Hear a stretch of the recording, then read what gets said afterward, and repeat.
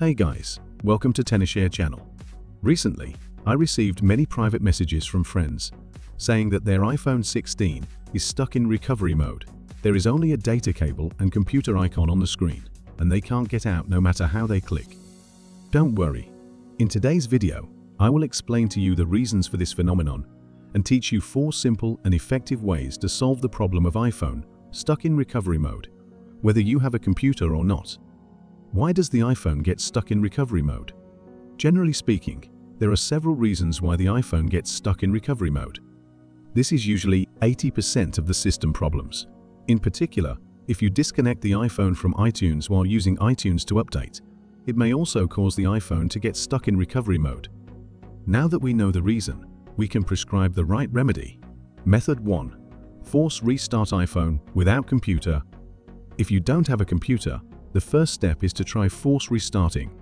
This is the most convenient way, and many times the stuck problem can be solved by it. For iPhone 8 and above, you only need to quickly press the volume up button, then quickly press the volume down button, and then press and hold the power button until the Apple logo appears. If this method doesn't work, you will need to use a computer. Method 2.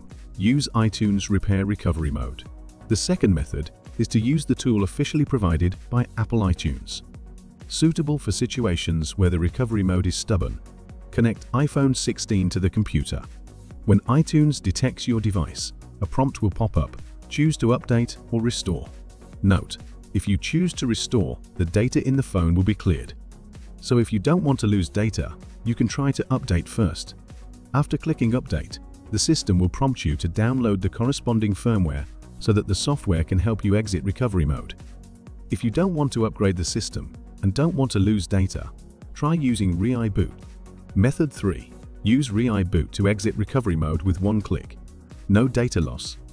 Using ReiBoot can help you exit recovery mode with one click. You only need to connect your iPhone to the computer, and the ReiBoot will automatically detect the device in recovery mode.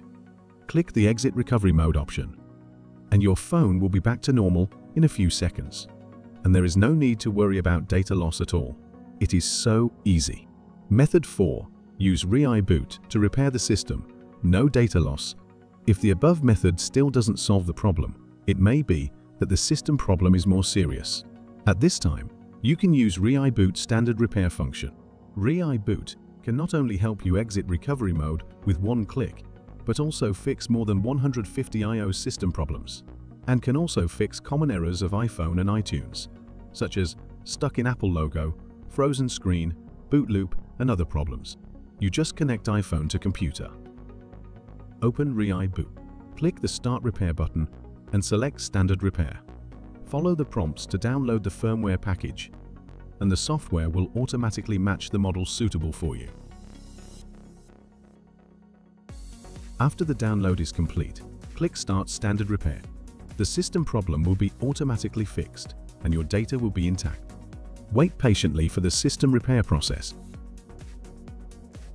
See, the phone is finally back to normal. I believe that your problem has been solved by now. Well, these are the four methods I will teach you today. If you encounter similar problems, you can choose the most suitable solution according to your needs.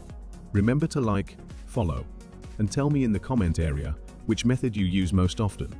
Or if you have other questions, you can also leave a message to discuss.